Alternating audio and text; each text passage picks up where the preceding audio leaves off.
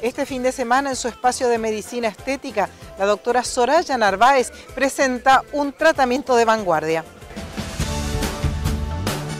Este fin de semana vamos a mostrar una máscara, una máscara con luz LED, también llamada máscara de la belleza, que es una máscara que tiene un sistema de luces de diferentes colores que las vamos a utilizar de acuerdo a qué queremos tratar en la piel del paciente.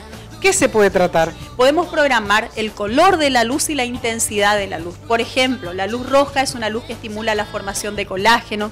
Tenemos luz azul, tenemos la luz verde, la luz amarilla, la luz blanca.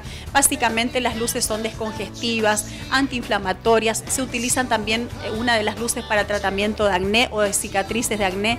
Hay una luz que también se utiliza para rosácea rejuvenecimiento básicamente y hay una luz que empareja el color de la piel. Entonces, de acuerdo a lo que presenta la piel del paciente, hay que armar un protocolo de tratamiento. A la máscara la podemos utilizar sola en una sesión o en general conviene combinarla con distintos procedimientos de acuerdo a lo que necesita esta piel, ¿sí?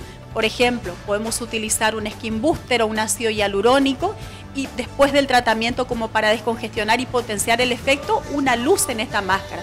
Podemos hacer un peeling o podemos hacer una microdermoabrasión o una luz pulsada intensa, que es una luz de alta intensidad, y combinarla con esta máscara como para lograr el efecto final que en realidad el paciente lo va a notar prácticamente al momento de la sesión, no, donde no solamente se va a relajar porque es un tratamiento placentero, que no es doloroso, sino que además de esto el paciente o la paciente va a salir con la piel totalmente renovada. Indudablemente las actualizaciones son fundamentales en todas las áreas, pero en la estética es eh, algo imprescindible. ¿Está a punto de viajar nuevamente?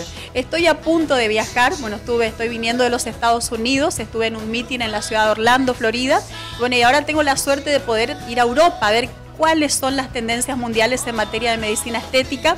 Eh, puntualmente me voy al Mundial de Estética que se realiza en la ciudad de Mónaco. Así que bueno, muy pronto también, después de estos tres días de capacitación intensa, con todas las novedades que existen a nivel mundial en esta ciudad que es tan bonita.